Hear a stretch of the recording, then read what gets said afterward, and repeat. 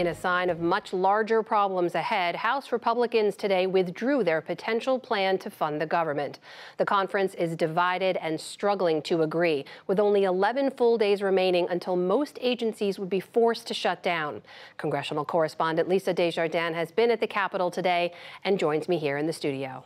Lisa, great to see you. Good to see you. So the clock is ticking. You've been talking to all your sources. Just bring us up to speed. Where do things stand right now?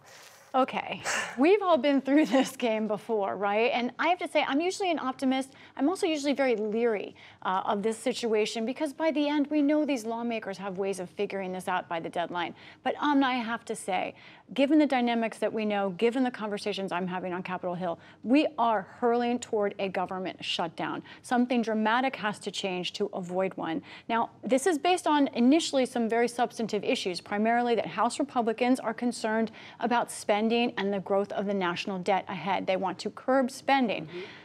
That's the actual easy part. It's hard, but it's the easy part here because Republicans then can't agree amongst themselves over how to do that. Let's just look at a list of the things that House Republicans can't agree on amongst themselves that I heard about today. One, the size and shape of those spending cuts. Two, Ukraine funding, that's something we talk a lot about on this show. Big divide over whether Ukraine should get more money. Immigration, border policy, also what to do there, and the shutdown itself. There are some Republicans, Amna, who believe a shutdown could be a good thing, believe it or not. They think that it would force the issue about spending and the national debt. They are the minority. But there are others who say, no, that's ridiculous. We shouldn't be going toward a shutdown. But the idea that there are Republicans like that is adding to this dynamic and really increasing the chances of us having a shutdown. One, on the other side of that are moderate Republicans who say, listen, folks, this is out of control. Here's Mike Lawler of New York. We're in a divided government. Right. You have a Democrat controlled Senate, you have a Democrat in the White House. Of course, you're going to need Democrats. And anybody who thinks otherwise is lying to the American people. Tonight, the House Republicans also could not even pass a rule on the House floor, which is a major defeat for them. Uh, Kevin McCarthy is meeting in small groups with everyone to try and work this out. Lisa, given all the struggle seems to be within one conference here, then what are what are the off ramps? I mean, how how did they avoid a shutdown at this stage? It's the same off ramp as we always see. There needs to be a short term funding bill, and you know Republicans are trying to come up with one. But as long as they can't agree on one, then the other way to go is to peel off a few Democrats, maybe bring together moderate Democrats and Republicans to come up with an easy, simple, classic, just fund government government for a few weeks. Problem there, Democrats are very unhappy with Republicans over the impeachment inquiry they launched, last week. Don't trust them. Republicans also, now many of them think being bipartisan means you're not conservative enough. So these dangerous rifts in our kind of culture and political uh, sensibilities here in this country are now hitting full force. If you're a government worker, if you're planning a trip to a national park, I'm sorry to tell you that you really should be watching this because we could have a shutdown soon. It's Lisa Desjardins covering this incredibly important story, talking to everyone at the heart of it. Lisa, thanks for your reporting. You're welcome. Let's hear now from one of the Republicans who say they will not support the current deal to fund the government. Joining me from the Capitol is South Carolina Congressman Ralph Norman, a member of the House Freedom Caucus. Congressman, welcome and thanks for joining us. Glad to be with you. So, how likely is a shutdown right now, in your view? It's uh, 100%. And are you comfortable with that? Well, I'm, i mean, a shutdown is not is not the best thing in the world, but continued bank continued continued path toward bankruptcy is not uh, an option either for me. Uh, it was put in perspective at a caucus meeting today when one of our members said he had calculated that the debt every second is twenty thousand dollars every second, and I'm just not it's not business as usual. Economic security is national security. Uh, in a perfect world, we would agree on everything and have bipartisan support, but that's just not the case. So it's up to us to, we're in the majority by a slim margin, to figure it out and come up with a budget that gets us on a downward trajectory. That's what we agreed to in January, a 10-year budget, which we will have, uh, and other things. But this isn't an easy process. When it comes to money, there's an advocate for every dollar. And so it's not easy, but it's part of the reason that um, we're elected to this office to, to make the decisions. What about a, a stopgap funding measure, a short-term funding bill? I know some of your Freedom Caucus colleagues were part of a group that worked out a potential deal. You don't support that, I understand, but what would you support? What I would support would be leadership agreeing to a top line number. We had put on paper on uh, July 10th a 1.471. I met with the speaker today, and he is, to his credit, has been open to talks.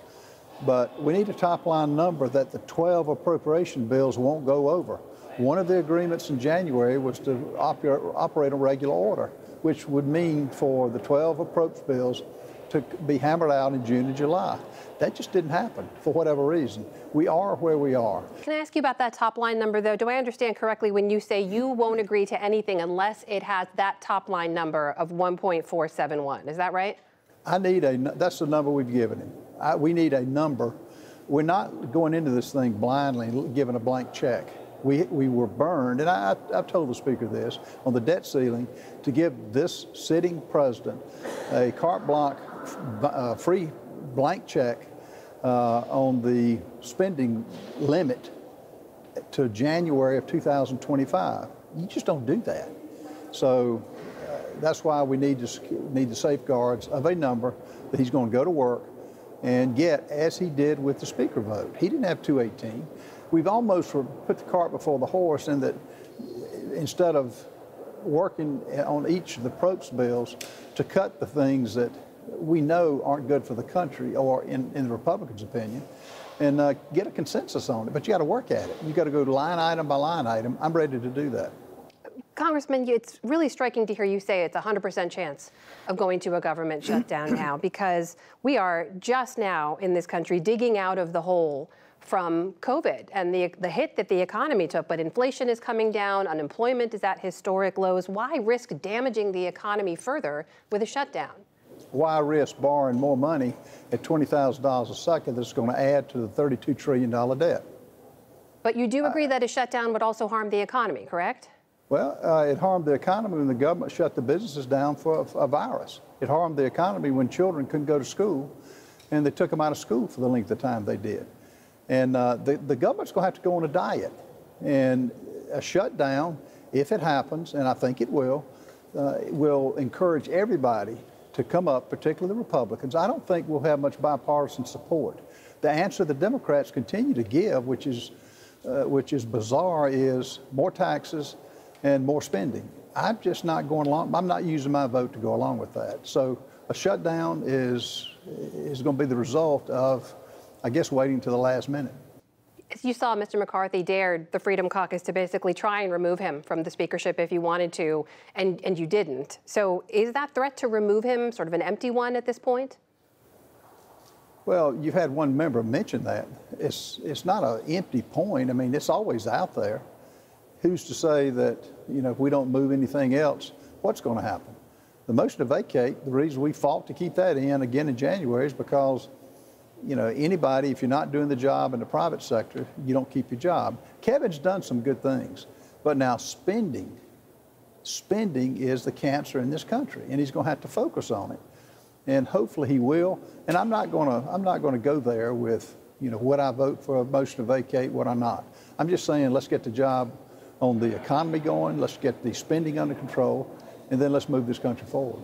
As you know, the Republicans' plan does not include additional funding for Ukraine and its war in defending itself from Russia. You saw Mr. Biden, President Biden, at the UNGA today say the U.S. is going to continue to stand with Ukraine. Are you worried that calling that funding into question emboldens Russia and its war in Ukraine? What I, what I worry about is this president not having any offsets. If he was, if he were sincerely um, legitimate in saying he wanted to fund Ukraine, cut something on some of these programs that the Green New Deal, as an example, uh, the funding for uh, borders in foreign countries, uh, the six trillion that he gave Iran. Where is that coming from? What's what's Iran? Why does Iran, who will blow, would would prefer to, to blow this country off the map, why does it deserve six trillion that this sitting president gave? Congressman, I think, so, do you mean the, the money that just came as a result of the hostage negotiations? Yes. So that was six billion, and those were not U.S. taxpayer funds. Those were frozen Iranian funds that South Korea was holding in a restricted I account. understand all that. It's still money, though, that he agreed to give away, and as he's doing in every agency that he's under control. Look at the executive orders that he's had that have had dollar bills attached to them. The point is this: uh, if he was serious about it, let's examine the budget. With two tr- this uh, year, we're going to be two trillion, run a two trillion dollar deficit. That's not fair to the American people. I will argue that all day long. If you're comfortable with that, then and to add that to the existing debt, I just don't subscribe to that theory. Before I let you go, I have to ask. Last week, you said you're considering running against Senator Lindsey Graham in 2026. That you haven't made a decision yet, but I wonder why is it you believe he could be vulnerable in 2026? Well, Lindsey has all, and I like Lindsey, but you get two different Lindseys. Uh, in a six-year term, the first four years he votes with Mitt Romney. Uh, he votes to spin this country into oblivion. The last two years he's very conservative, and Lindsey uh, has got a big war chest, and an hour in politics is a long time. 2026 is a long way off.